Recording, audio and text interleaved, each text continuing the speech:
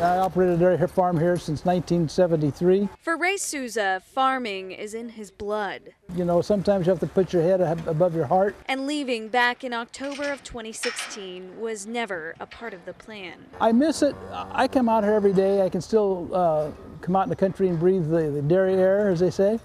But uh, there's parts of it I missed, and there's other parts that I don't miss. On the whole, I think it was the right decision for us. According to an Ag Census report, he is one of about 50 dairy farmers that chose to leave the business in Stanislaus County alone between 2012 and 2017. Dairymen decided to go somewhere else where it's a little, little less regulated.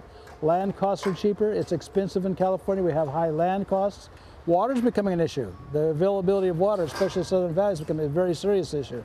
Ag Commissioner Milton O'Haire says the drop in farmers caused milk production to decrease by more than 9%. The uh, cost of milk or, or the price that they receive has really flatlined or declined. They don't, they don't get uh, any more for their milk than they get, did, say, um, six years ago. The price of commodities, all, all, their, all their inputs have increased, and the cost of labor, everything. So their profit margins have either shrunk or completely dissipated. Souza now rents out his dairy to another farmer, Kevin Azevedo, who is hopeful things will get better. It's been tough financially. You kind of take from paying Paul to pay John and, and uh, juggle things around, but no matter what, you, uh, you make ends meet there towards the end. Each year, he says he's being weighed down by more regulatory fees. High feed costs, uh, low, low uh, milk prices, uh, do with all these um, tariffs and uh, international compliance and all that stuff. It's been very difficult.